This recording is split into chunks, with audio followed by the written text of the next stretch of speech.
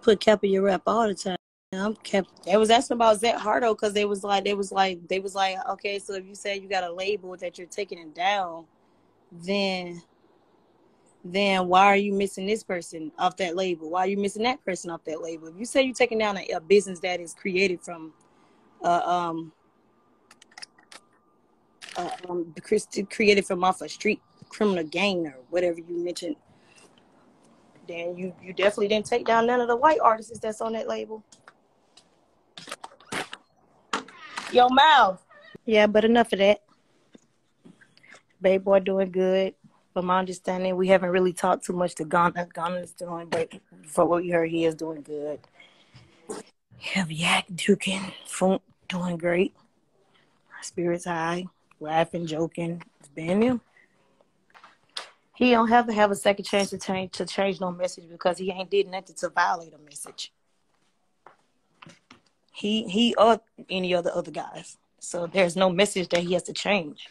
He's him. And then you're gonna accept the fact that he's him or not. And that's that. You can't you can't try to convict him from him being him and his and making his music. You can't do that. That's basically saying he don't have rights. He's not a civilian. They do that. That's not how it goes. He's all right to, to, to, to rap or sing how he wants to sing. They're just like me. I have all the right to come out and sing or rap how I want to do or how I want it to be.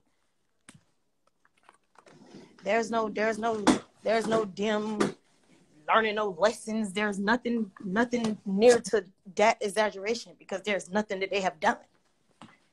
They just have to sit down in a jail cell because of hearsay or he say, she say, or whatever they saying that that hearsay really from lyrics. It's not even hearsay. It's really because they're using lyrics against them. Is the reason why they having to sit down.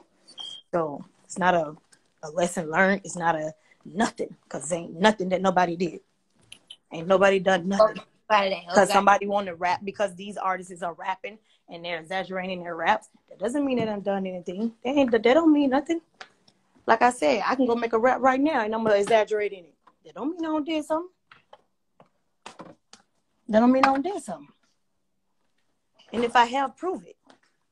If you say that these lyrics or these words or this, this and that and third is making me, is stating me, is making me come in front of you guys as as a as a as a uh, opportunity for you guys to say y'all gonna prosecute me off of, then prove it to me that because I rap this, that that means that I did this. Prove it to me. I mean, you know, it's it's nothing to be talking about a second chance and nothing, nothing. Nobody like, nobody. So okay, don't nobody have to be talking about giving no second chance about nothing. Ain't nobody committed nothing, and no type of way to be saying, "Oh, I gotta get a second chance." No, it's wrapped up in some. These people felt like they could do, which is use their lyrics and things against them, or and use whatever they want to think that they want to use against them. And then it's like I said, it just turns into something else. Now you have to fight for it now you have to fight for basic human rights.